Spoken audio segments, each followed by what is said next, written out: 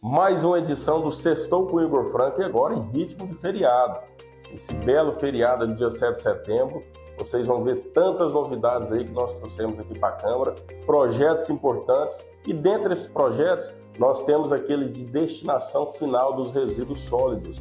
Isso mesmo, agora a empresa que produz o material, ela vai ter que cuidar também da destinação final. Apresentamos um projeto pai e mãe para poder trazer a semana de conscientização das famílias que têm criança e adolescente com transtorno de aspecto autista e também pessoas com deficiência.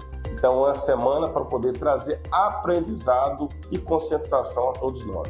Vocês observaram que nossa cidade tem vários fios das telefonias, empresas de energia, que fica feio e alguns desses fios são inutilizados. E esses fios inutilizados, de acordo com o nosso projeto após aprovação, as empresas terão que ter cuidado em recolhê-los. Nós entregamos materiais esportivos para o Instituto de Esporte 7.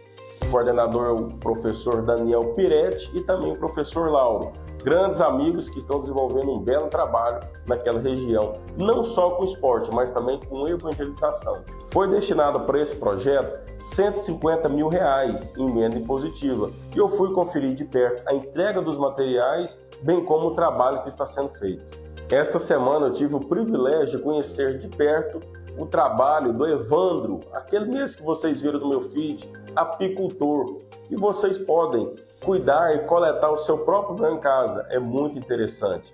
Eu fiz isso e você também pode fazer em sua própria casa.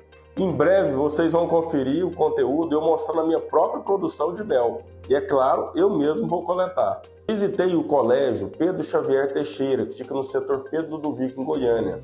Uma escola pública estadual de tempo integral, em que nós iremos levar a horta comunitária para poder fornecer alimento para aquelas crianças e adolescentes, e não só do Colégio Estadual Pedro Xavier Teixeira, mas de todos os colégios circunvizinhos. Então lá terá a maior horta comunitária de Goiânia. Estive no Ministério Público Estadual com o Dr. Juliano, onde nós buscamos recursos para poder implantar um grande projeto em Goiânia de compostagem. Isso mesmo, em parceria com a AMA, em parceria com a SEDEC e agora com o apoio deste vereador aqui da Câmara Municipal de Goiânia. Vocês vão ver a grandeza desse projeto de compostagem que o Ministério Público Estadual estará nos dando todo o respaldo e apoio. Meu amigo Cleiton Antijo me apresentou o projeto Brisas, com Michel.